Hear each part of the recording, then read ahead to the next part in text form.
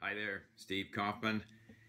Today, I want to talk about something that I think is very important, a question that I get all the time, and that is how long does it take to learn a language? And I want to talk about that in terms of what I consider to be the three stages of language acquisition. Um, and so let's start with that stages of language acquisition. If you Google for stages of language acquisition, most of what you find will talk about the stages of language production. You know, initially can answer yes or no, can say a few short sentences, whatever. To me, language acquisition is not about language production. It's initially about how we acquire the language, how we get the language into us. So, uh, based particularly on my experience this last three, four months with Arabic and Persian, and as I contemplate getting into, let's say, Turkish next year, how long do I think it will take for Turkish? What will be my stages along the way of a, a, you know towards acquiring that language? All right. So I looked at an article that I wrote quite a long time actually ago, quite a long time ago, and recently put up again on my blog where I talk about three stages of language acquisition. In the first stage, which I say takes 60 to 90 hours, call it three months at an hour a day. And, and of course, this is going to vary depending on the language. But I describe in that article many years ago, many, mean, seven or eight years ago, exactly what I experienced with my Persian and Arabic. And that is that I need to listen often and repeatedly to simple stories. What I didn't know when I first wrote this article, uh, or at least I wasn't aware of the mini stories, the point of view stories. I became aware of them when I was studying Polish, and Piotr at realpolish.pl uses these very effectively. I then discovered that A.J. Hoge does this in English. And I discovered that these have been around, that some of the people involved in the, you know, uh, uh, what is it called? TPRS, Teaching Proficiency Through Reading and Storytelling. They have also used this technique. We have our 60 mini stories at LingQ. That's only one example of this point of view storytelling technique. But by listening to these many, many, many times and reviewing them on LingQ and reviewing the words, I got a sense of the language. So I call the first stage, this 90 to 100 hours, I call it connecting with the language. That's all you have to achieve so that I have a sense of Persian. Now, depending on the language, it can be more than three months. In, in the case of Persian, three months, even combined with Arabic, I was able to connect with the language. I actually can say some things now. I know more or less how the language works, although there are fine points of grammar that I'm not aware of. Arabic is much more difficult. Arabic is more difficult because the grammar is more complicated, or at least more different from what I'm used to as a speaker of Indo European languages.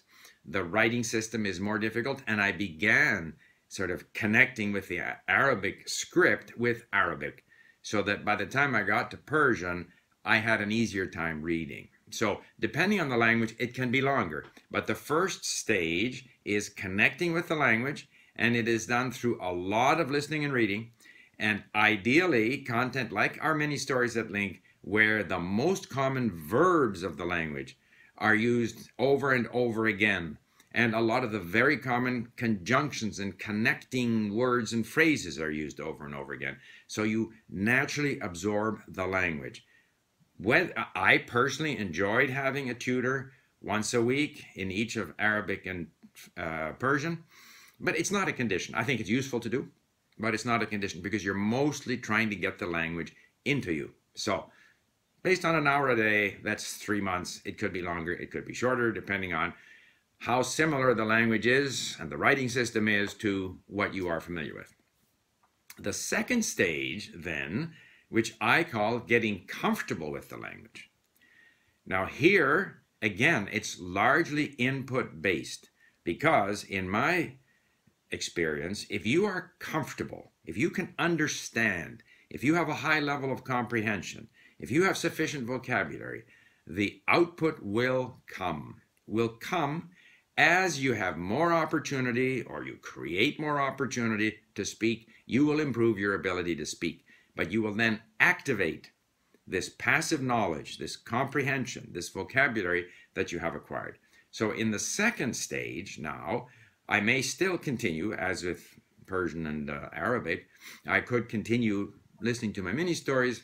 In fact, I'm even doing that, that now with my uh, Russian and Ukrainian in order to get a better sense of the structure and the case endings and the verbs of motion and this kind of thing. But I need to expand my vocabulary. I need to expand, you know, what I am comfortable with, what I understand. If, for example, in Arabic and Persian, if I get an article, for example, in Arabic from Al Jazeera, and there's 40, 50% unknown words there, that's not comfortable. In fact, it's difficult for me to read and listen to. So, ideally, in the second stage, which is twice as long as the first stage, if the first stage was three months, the second stage could very well be six months. And here, ideally, I would look for conversations. So, to some extent, the podcasts are conversations. But a lot of the podcasts that I've been listening to, they have a lot of sort of special vocabulary.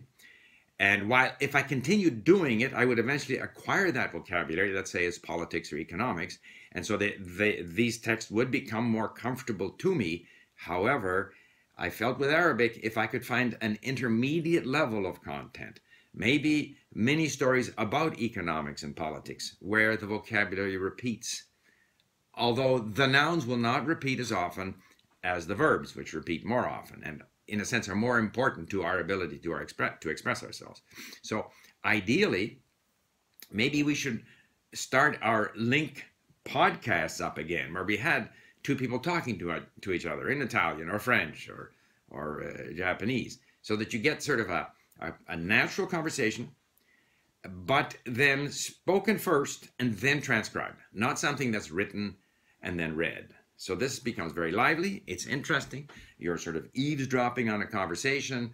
And yet, if you're at LingQ, you have then the ability to read the transcript, save the words. And after a while, if it's the same two people talking to each other about everyday life or things that are of interest to them, a lot of the vocabulary will repeat. Another thing that I very much enjoyed with uh, Chinese, and to some extent I found some of this in Russian, is you know, um, books on subjects of interest to me, nonfiction, which is usually easier than literature, nonfiction, history, geography, but with a simplified vocabulary. So that again, as I am increasing my comfort level with the language, I'm not facing, you know, 50% unknown words.